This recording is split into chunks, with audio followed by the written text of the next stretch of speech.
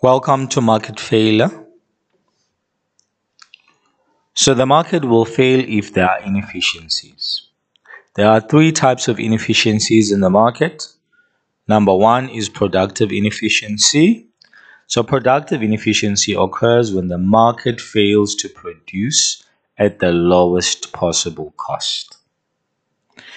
The second type of inefficiency is allocative inefficiency. Allocative inefficiency occurs when the market fails to produce the right amount of goods and services that consumers want. And number three is Pareto inefficiency. So Pareto inefficiency simply states that you cannot make someone better off without making someone else worse off. So basically, you cannot please everyone in the market. We can also understand inefficiency by looking at the production possibility curve, the PPC. Uh, the PPC is the black curve that's concave down. And we can also look at the indifference curve. So in the, the indifference curve is the red curve that is concave up. So every point on the production possibility curve is efficient, productively efficient, I should say. So point A is on a production possibility curve, point B, point C, point D. Because these points are on the PPC, they are all productively efficient points.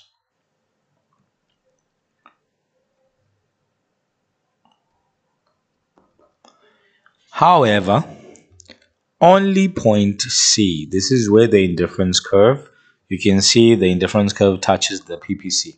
So only at point C do we have allocative efficiency. So only, only point C will be allocatively efficient. So all the points on the PPC are productively efficient, but only the point where the indifference curve touches the PPC will be allocatively efficient. Point E is inefficient Point F is not attainable. It cannot be achieved. We've got six causes of market failure. So the imperfect markets, number one. So the monopolies, oligopolies, monopolistic competition. These markets are inefficient and they cause market failure. Missing markets, so markets that are not provided for, such as the market for public goods. We know that public goods are not provided for in the market because there's no profit in providing public goods such as uh, community or collective goods. So they are undersupplied, and this causes market failure. Whereas demerit goods, goods that are bad for society, are oversupplied, also a cause of market failure. Immobility means you cannot move. So the immobility of factors of production, you cannot move the four factors of production to where you need them. That will also cause market failure uneven distribution of wealth. So the wealth of the nation is not evenly distributed. There are inequalities. Some people have more than others. And that means that people cannot participate in the same way in the market. So that will cause market failure. Missing information. The information is not there in the market to allow for productive efficiency and allocative efficiency.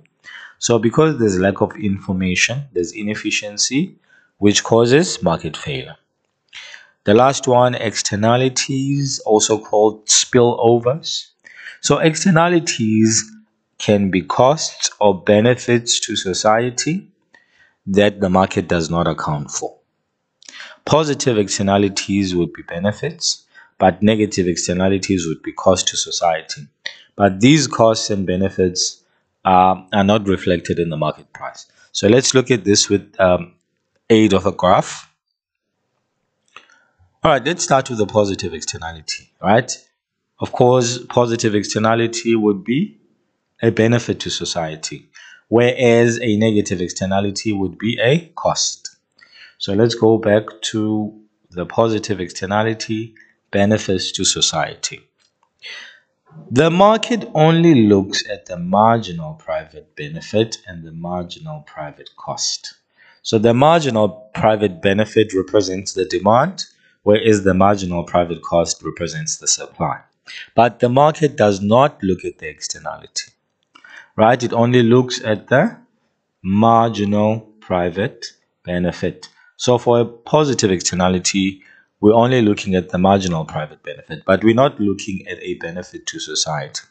If we want to see the benefit to society, so the marginal social benefit, we need to add to the marginal private benefit, we need to add the externality.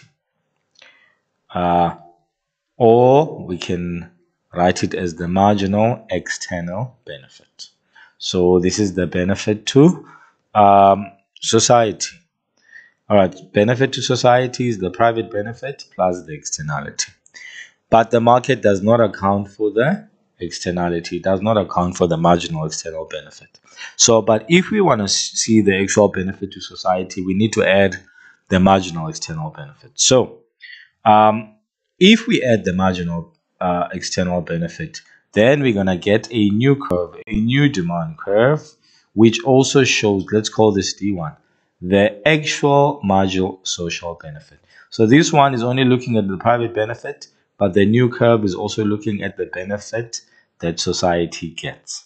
So in order to get to the social benefit, we need to add an externality. We've got a new quantity there. We also have a new price there. This triangle is the external benefit or the positive externality. So if we add this triangle to the private benefit, then we get the marginal social benefit. But remember, the market does not account, it doesn't add this externality. So this is why the market fails. This triangle represents the, extern the externality or the marginal external benefit to society, but the market does not account for this. It's the same for cost. Remember, um, the cost that companies incur does not also look at the cost to society or the marginal social cost. So remember, whenever there's production, you also have pollution and there's also crime. So, but the market price does not look at these negative externalities. The market price simply looks at the marginal private cost. It doesn't look at the social cost. So if we want to add the cost to society as well, we will have a new supply curve, which is the marginal social cost. Social cost means the cost to society. But how do we get to this marginal social cost? We know that that new supply curve, let's call it S1, will have its own quantity. We can call it Q1 and its own price. We can call that price P1. Now this triangle here, the right angle triangle over here represents the negative externality that the market does not account for.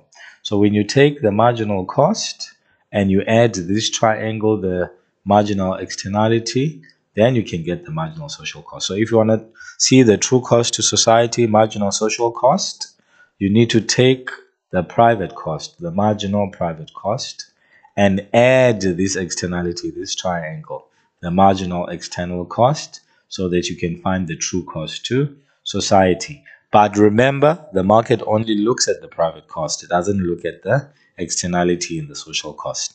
This is why it fails. And we said also for benefits, the market only looks at the marginal private benefit. It doesn't look at the uh, externalities, the positivities, and the marginal social benefit. So this is why the market fails.